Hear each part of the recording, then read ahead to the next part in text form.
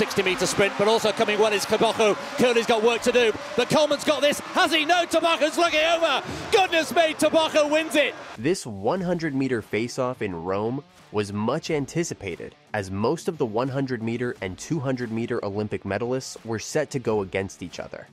While some aimed to bounce back from the Olympic loss, others, Tebogo especially, had no plans to let the others outrun him.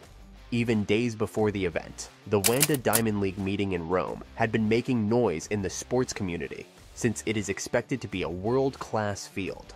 It was earlier announced that Olympic medalists Letsile Tebogo, Kishane Thompson, and Fred Kerley will go head-to-head in the event. Meanwhile, reigning Diamond League champion Christian Coleman planned to bounce back from his Olympic disappointment with a third Diamond League win of the season, while Kenya's Ferdinand Omanyala, Jamaica's Ackeem Blake, and Japan's Abdul Hakim Sani Brown are also part of the roster. It goes without saying that each of them wants to prove something to the world. For one, Jamaica's Kishane Thompson, who earned silver in Paris in the men's 100 meter, wanted to dominate the track this time. He planned to do it in Rome after he lost his chance to do so in Poland when he withdrew from the Silesia Diamond League. By way of explanation, he cited discomfort caused by a hamstring injury he picked up in the semifinals of the Olympic Games. And so, because fans missed him in Silesia, they were looking forward to seeing him in Rome. However, a day before the competition, fans realized that the Jamaican had pulled out of his second consecutive meet. It is worth noting that Thompson has seen his promising career repeatedly disrupted by injuries. Over the past few years, he has dealt with a variety of physical issues that have kept him from competing consistently. The young sprinter only made his Diamond League debut last July, highlighting how his injuries have delayed his progression in the sport.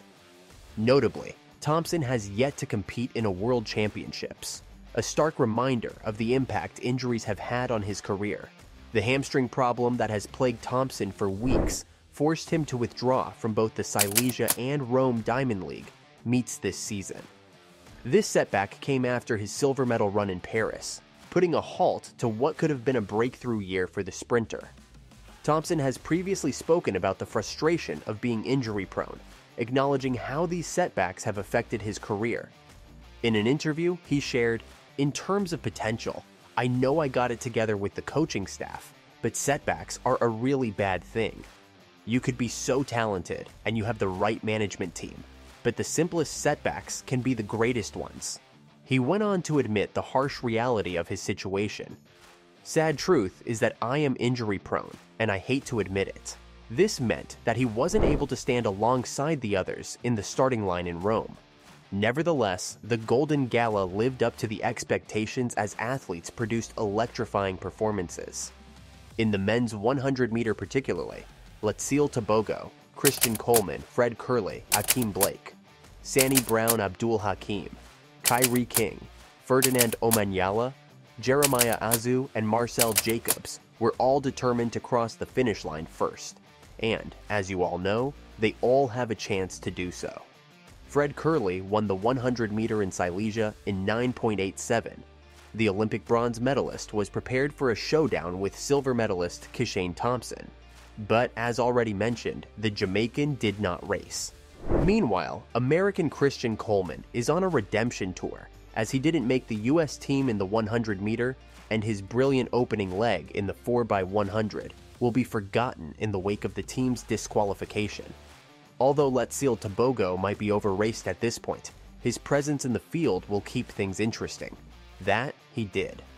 By the end of the race, it was the new 200 meter Olympic champion who once again took the win.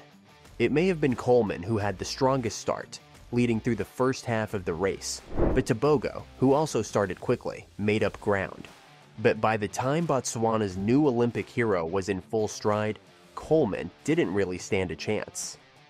As Tebogo overtook Coleman, he stretched out both arms to his side in a rare show of showboating, even with still 15 meters to go in the race, in the full knowledge that he had won, even easing up to the line.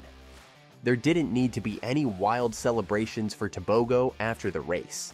A big grin on his face, and his hands held up with his fingers in a W sign, said it all as he turned to face good friend Kerley, who gestured with his hands to his eyes as if to say, We're all watching you. The Olympic 200 meter champion eased off with 15 meters to go and glanced back at his competitors as he crossed the line in 9.87 seconds. Former world champions Christian Coleman and Fred Kerley, both from the United States, finished in second and third with times of 9.92 and 9.95 seconds, respectively.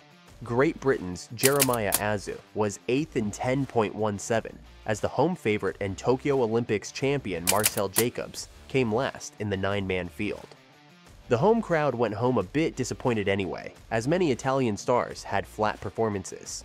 The 2020 Olympic gold medalist Marcell Jacobs was clearly still nursing an injury as he shut down his 100 meter race early and finished in last place. But just because it ended sadly for some doesn't mean it is the same for others. I meditated before the race and it went how I wanted it to be, Tebogo said. 2024 was my year. It concluded a memorable week for Tebogo, who met Pope Francis a few days prior. What's more, it was Tebogo's third Diamond League victory since the Olympics, having also won 200 races in Lausanne, Switzerland, and Chorzów, Poland, over the past several days, which all came after a celebration back home in Botswana with the country's president.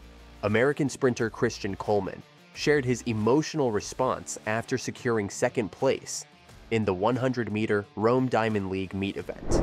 The high profile track and field competition part of the prestigious Diamond League series, saw Coleman narrowly miss out on the top spot by clocking 9.92 seconds. The Rome Diamond League was the athlete's first race after a disappointing Olympic campaign that included a disqualification in the men's 4x100 meter relay. Anyhow, this was the athlete's first 100 meters since the US Olympic trials, where he failed to qualify for Team USA Coleman was open about his feelings and revealed. I felt a little rusty, just because I mean, I haven't run an open 100 since trials. And you know what I mean, changing a lot in my personal life, my training, and everything. So I feel good for coming back. Despite the second place finish and that playful showmanship from Tebogo, Coleman stayed positive. I was doing my best to try and put myself in the best possible situation there, I feel like I've been doing everything I needed to do on my part. It just didn't happen. He added, I've just got to be mentally, spiritually, and physically aligned to be at my best, and I just felt like making that change would give me the best shot at doing that. That's right, there's still the final. The 2024 Wanda Diamond League final will be held in Brussels from September 13th to 14th. Now that's worth waiting for. It would be interesting to say the least some would be determined to conclude the 2024 season with a back to win. Obviously, those would be the Paris 2023 Olympic medalists. The others, on the other hand, specifically those who failed to medal in France, are intent on doing so this time around. Here's how athletes have been faring post-Olympics.